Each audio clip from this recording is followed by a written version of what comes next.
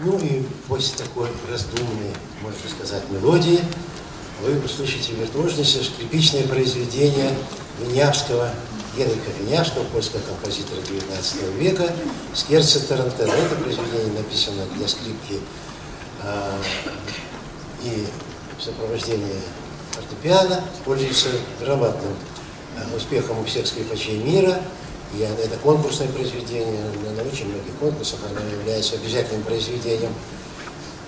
Винявский, Скерцен, Тарантелла.